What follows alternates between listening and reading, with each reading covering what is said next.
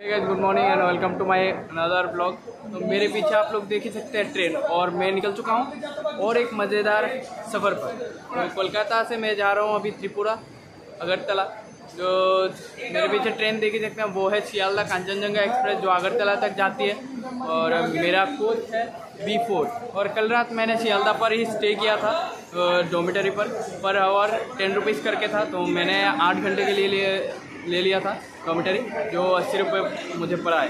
तो मेरा ट्रेन है छः बजकर पैंतीस मिनट।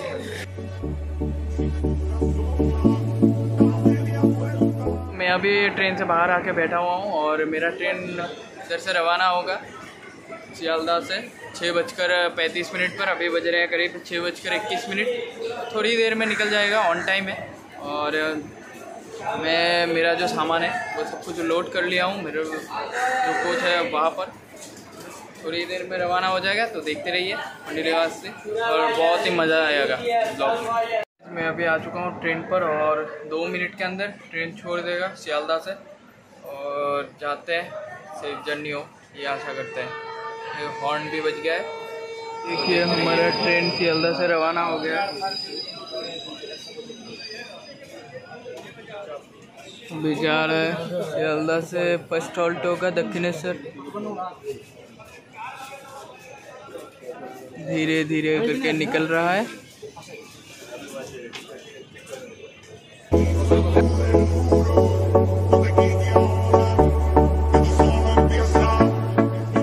मैं अभी आकर मेरे सीट पर बैठा हूँ।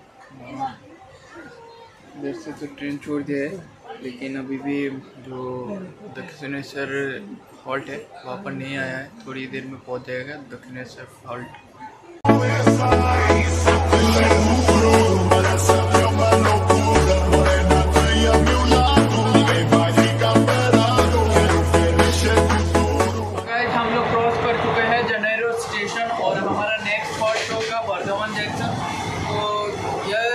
स्टेशन पर हॉल्ट कोई भी हॉल्ट नहीं था। ट्रेन जैसे चल रही है, वैसे गति से चल रही है। के मुझे कुछ लेना है नाश्ता, क्योंकि मैं भागा भागी में नाश्ता नहीं ले पाया। आप लोग देखते रहिए और देखिए। ट्रेन का व्यू चल रहा है ट्रेन देखते रहिए।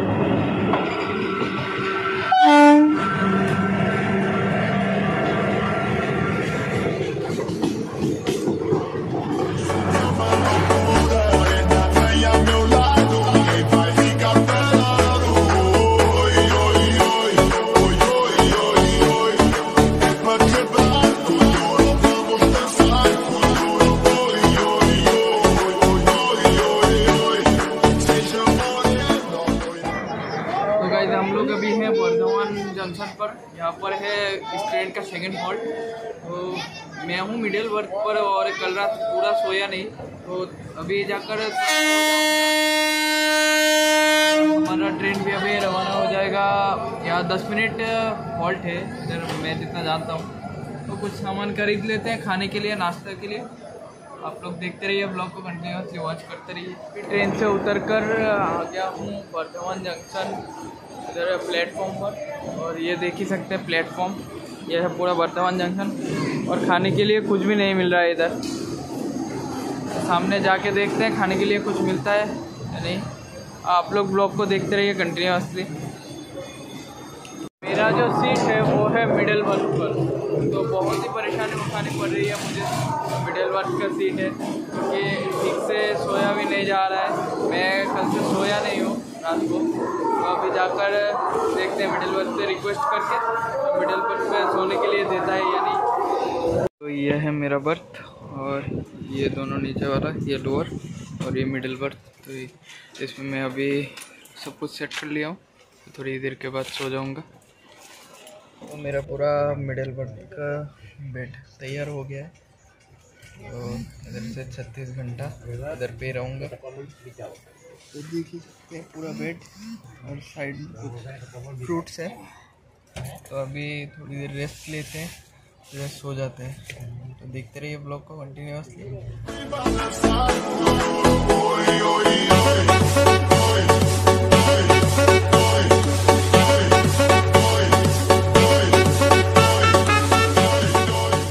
गाइज़ मैं अभी हूँ न्यू फरक्का जंक्शन पर और जा रहा हूँ फ़ूड पेंट्री पर।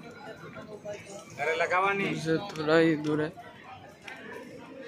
फ़ूड पेंट्री से जाके कुछ खरीद लेंगे खाने के लिए। तो गाइज़ मैं अभी हूँ न्यू फरक्का जंक्शन पर और फ़ूड पेंट्री से जाकर मैंने थोड़ा केक और बिस्किट खरीद लिया है, क्योंकि ट्रेन में खाने के लिए कुछ नहीं मिला है। सोने के उठने के बाद। तो अब मालदा जाकर देखते हैं कुछ मिलता है या नहीं। वहाँ पर खाने के लिए राइस वगैरह मिलेगा तो ले लूँगा। और ये देख सकते हैं। New Farakka junction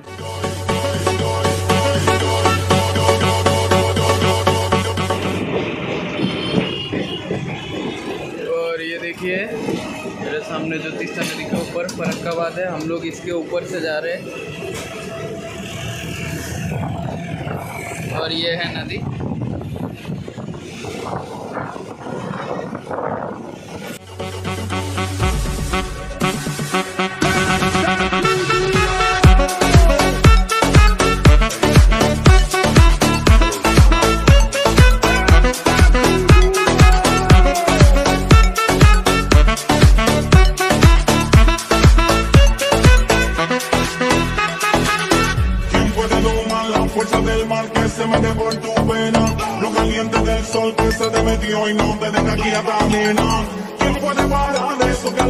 Al bailar descontrola tus cadenas? Y ese fuego que quema por dentro y lento te convierte en te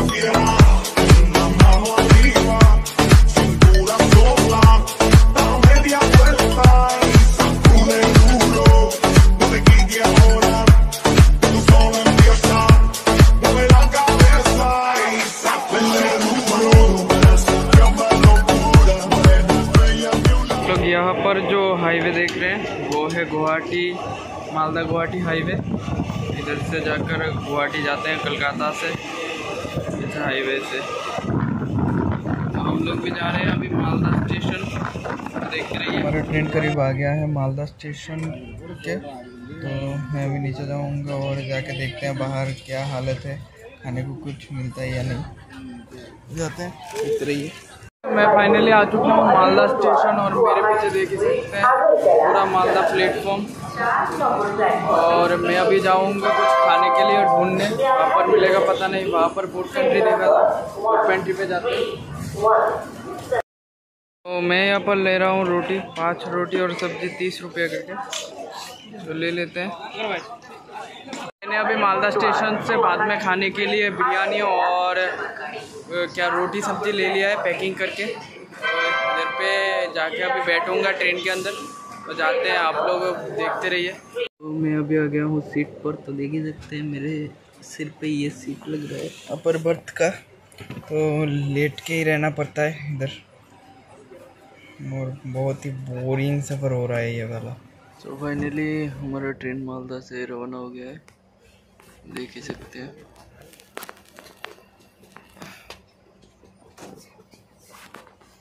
तो गाइज़ मैं अभी आ चुका हूँ जलपाईगुड़ी न्यू जलपाईगुड़ी जंक्शन पर और आज पूरा दिन ही मेरा नींद में कटा है। तो क्योंकि ट्रेन में भी कुछ करने के लिए नहीं था तो इसलिए सो रहा था पूरा दिन। और अभी बज रहे करीब साढ़े छः तो हम लोग पहुँच गए हैं न्यू जलपाईगुड़ी जंक्शन पर और इधर से ए, तीन चार घंटे के बाद या थोड़ी दूर है तीन चार स्टेशन के बाद हम लोग पहुँच जाएँगे असम और वहाँ पर गुवाहाटी। तो जाते हैं, देखते रहिए। ये देख ही सकते हैं न्यू जलपाईगुड़ी जंक्शन और मैंने ले लिया है रोटी और सब्ज़ी। और यह है हमारा ट्रेन कांचनजंगा एक्सप्रेस। तो करीब और चार पाँच घंटे के बाद हम लोग असम पहुँच जाएँगे।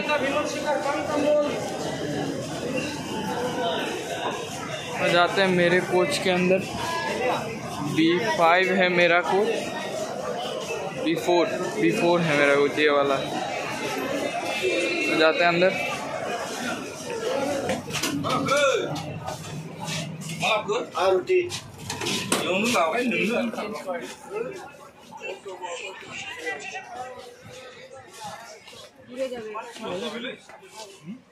हमारा ट्रेन अभी जलपाईगुड़ी जंक्शन से निकल चुका है और अब जाएगा अलीपुर द्वार। तो मैं भी आकर बैठ गया हूँ। वेट करते हैं, कितना देर लगेगा अलीपुर द्वार। फिर ये ऊपर वाला जो सीट है, वो खाली हो जो, हो जाएगा, क्योंकि वो लोग कहाँ पर मतलब अलीपुर द्वार के बाद में जो स्टेशन आता है, वहाँ पर उतर जाएगा। कोच बिहार पर न्यू कोच बिहार पर। तो मैं हो सकता है ऊपर जा सकता हूँ। तो ये देखिए मेरा सामान का हालत। देखते रहिए। गाइज़ हमारा ट्रेन अभी आकर पहुँच चुका है कुछ बिहार जो स्टेशन है वहाँ पर और असम जाने के लिए हमारा और एक हॉल्ट होगा, वो है अलीपुरद्वार हॉल्ट तो वहाँ से हम लोग चले जाएँगे असम और इधर से पाँच मिनट का हॉल्ट है।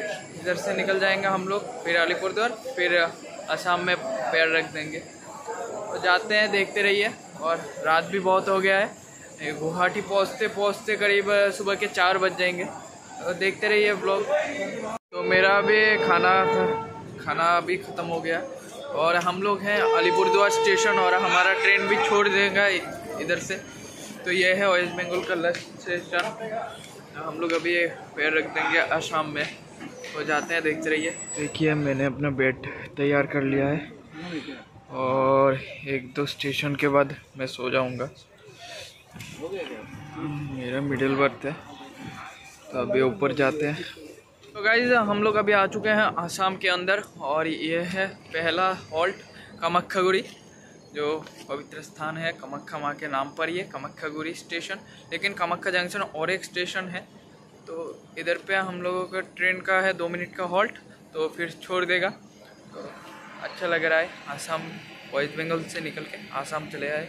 तो देखते रहिए ब्लॉग है मैं अभी आ गया हूँ आसाम के सेकेंड हॉल्ट गोसाई गाँव में और यहाँ पर भी दो मिनट का हॉल्ट है।